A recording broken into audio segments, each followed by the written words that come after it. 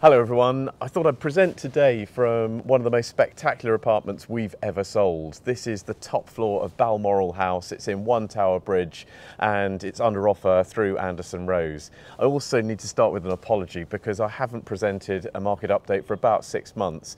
Anderson Rose has been so busy in the last year and I'm very proud of the success that we've had.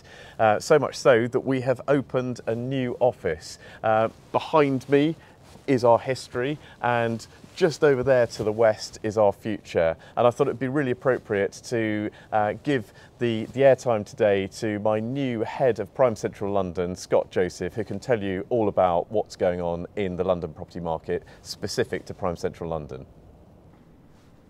Hello, everybody. Um, thank you for the introduction, John. Very exciting time at the moment. Now, I appreciate that you open a newspaper, you turn on a television, the tabloids are portraying the market to be challenging, to say the least. And I think we would be pulling the wool over your eyes if we said that there wasn't challenges. But in my opinion, the market presents opportunities. Very much so if you are an overseas buyer or somebody that has a lot of your currency and wealth in dollars. Right now is one of the most unique opportunities as an international buyer to dip your toes into prime central London or in, in fact into England. People who wait for the market to improve are the ones that are probably going to be left behind.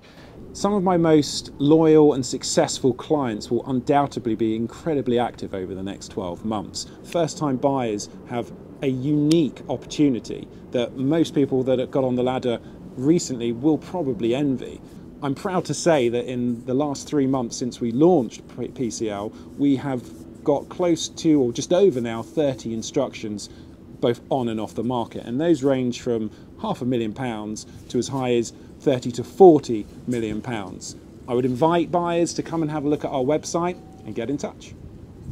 Well, I hope that's a useful insight into the property world right now and the world of Anderson Rose. Well, the team and I will keep you posted on everything that's going on over the next few months, but as ever, please feel free to pick up the phone and talk to any of us personally.